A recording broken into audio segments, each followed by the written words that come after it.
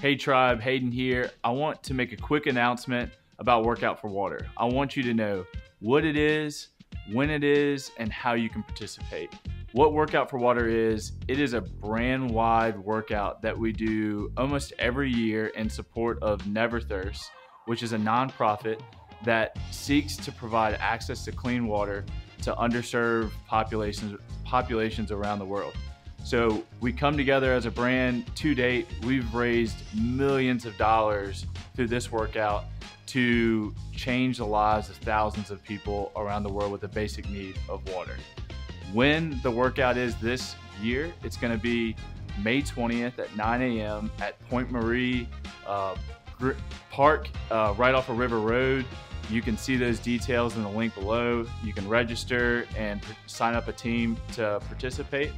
Another way that we're going to make this really fun is all of the coaches have decided to one pick a movement that they're going to do for every dollar raised between now and next Saturday.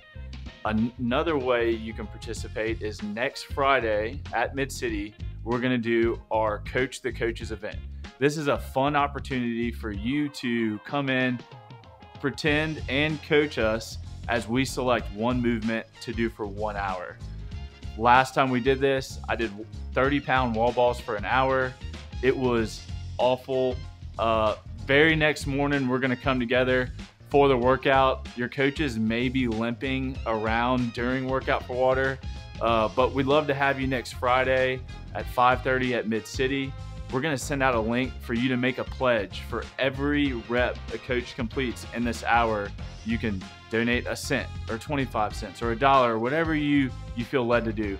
But there's several ways to get involved. You can do the coach the coaches event. You can just make a contribution and or you can participate in the workout next Saturday. All of those would be great. Thank you so much for uh, blessing those through this event.